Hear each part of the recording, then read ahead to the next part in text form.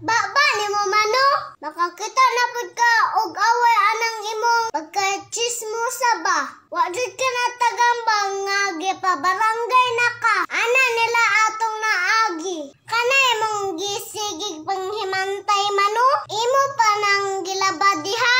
Suot na lang tagbulingon ani kay wala na kay laba-laba. Sige na lang kag panglibak diha.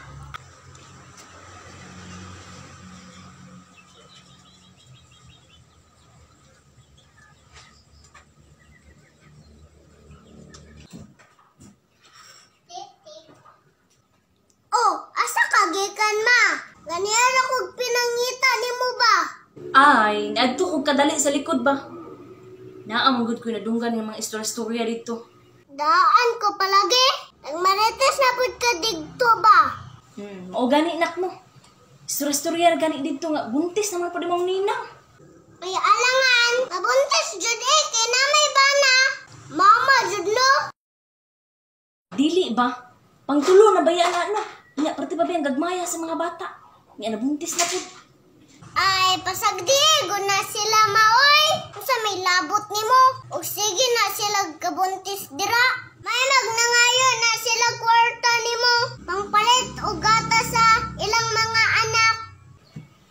Dili man sa ingon ana anak no, parang sige sila padaghan ba? Sige galisod og taman. Ba ba? Makakita na pud ka og away anang imong pagka-chismosa ba? Wa jud ka na tagambang nga gipabarangay na ka. Ana nila atong naagi. Kana imong gisigig panghimantay mano? Imo pa nang gilaba diha. Suot na lang tagbulingon ani kay wala na kay laba-laba. Sige na lang kag panglibak diha.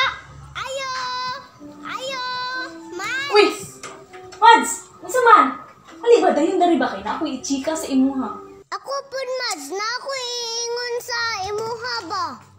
Unsa man na Mads? Na ako nadunggan istorya Mads ba? Buntis man daw ka Mads. Na! Ano mabuntis man ako nga? Wala kang gani akong bana dari. Na, taka lang na sila giawit diya ba matanawa. Balik ko Mads, kinsay ingon Mads tara. Ani ko kinsay gatabi-tabian na ha kay. Bantay man jud na sila sa kuha ba? Pang salapidon ko ng mga bakba nila. Una ni mo ma, libakera